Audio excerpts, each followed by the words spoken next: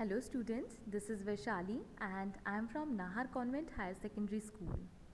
इस वीडियो में हम जो डिस्कस करने वाले हैं वो डिटर्मिनर्स या फिर क्वांटिफायर्स का पार्ट होता है। मतलब कि डिटर्मिनर्स जो होते हैं या जिन्हें हम क्वांटिफायर्स भी कहते हैं जो कि नाउन या प्रोनाउन की क्वांटिटी को डिटरमाइन करने वाले वर्ड्स होते हैं। उनके बारे में एडिशनल इन्फॉर्मेशन बताने वाले वर्ड्स होते हैं। तो ये काफ़ी सारे होते हैं।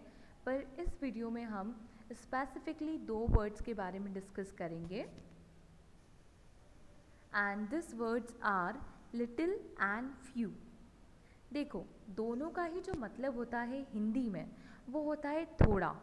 हिंदी में दोनों का मतलब ही लिटिल का भी और फ्यू का भी दोनों का मतलब होता है थोड़ा।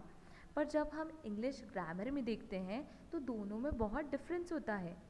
दोनों का मीनिंग मतलब स्लाइट क्वांटिटी होती है पर वो अलग अलग वे में यूज़ किए जाते हैं तो वो हम इस वीडियो में देखते हैं so basically little refers to non countable और you can say uncountable nouns and is used with the singular form to indicate that something exists only in a small amount or to a slight degree. मतलब कि ये use तो होता है किसी small amount को या जिसकी स्लाइट डिग्री हो वो शो करने के लिए जिसकी कम डिग्री हो, जो ज़्यादा एक्सटेंट में नहीं हो।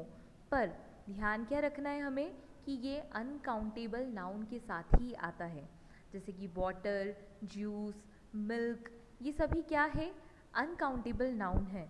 अनकाउंटेबल नाउन्स है राइट तो अगर हमें इनकी क्वांटिटी डिटरमाइन करनी है, इनका स्मॉल अमाउंट बताना है, तब मैं क्या बोलूँगी? लिटिल सपोज़ मुझे बोलना है कि मेरी बॉटल में थोड़ा सा पानी बचा हुआ है तो मैं क्या बोलूँगी? I have little water left in my bottle तो यहाँ पे मैंने लिटिल क्यों यूज़ किया वाटर के पहले?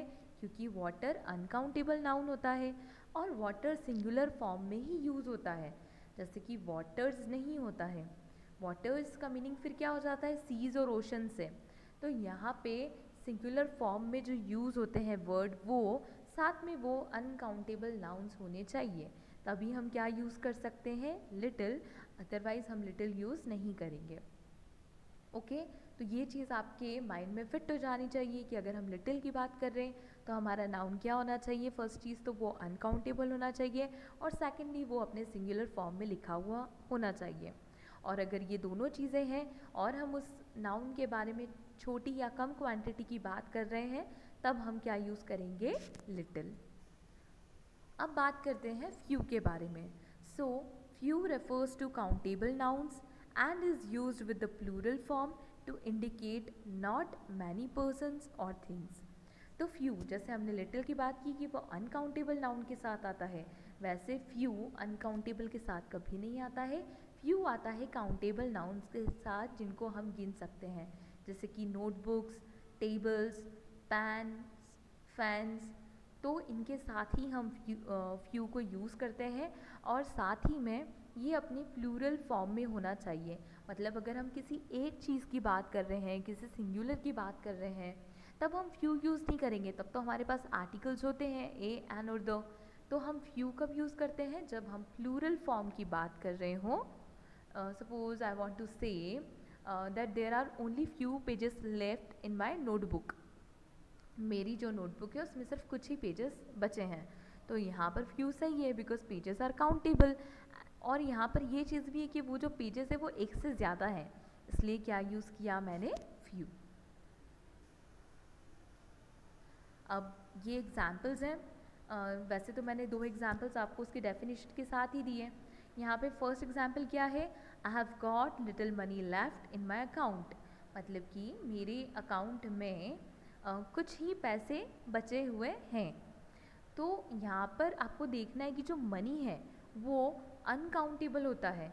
जो रुपीज़ होते हैं, आप जिनको काउंट करते हो, वो काउंटेबल है, पर जो मनी होता है, वो हमेशा क्या होता है? अनकाउंटेबल होता है। या इसलिए हमने यहाँ पे क्या यूज़ किया है? लिटिल ओके और सेकेंड एग्ज़ाम्पल है Ben has few friends in London मतलब बैन जो कि एक लड़का है, उसके लंदन में कुछ दोस्त हैं। तो यहाँ पर फ्रेंड्स काउंटेबल भी है और साथ ही में एक से ज़्यादा है मतलब कि प्लूरल भी है, इसलिए क्या आया है फ्यू तो इस एग्ज़ाम्पल से और चीज़ें क्लियर हो गई हैं कि कब लिटिल आता है और कब फ्यू आता है। लिटिल आता है जब चीज़ें अनकाउंटेबल हो और सिंगुलर हो और फ्यू आता है जब चीज़ें काउंटेबल हो और प्लूरल हो। और दोनों का ही हिंदी में मीनिंग क्या होता है? कुछ या फिर थोड़ा। सो आई होप आपको लिटिल और फ्यू का पूरा कॉन्सेप्ट क्लियर हो गया होगा. So this is all for this video thank you so much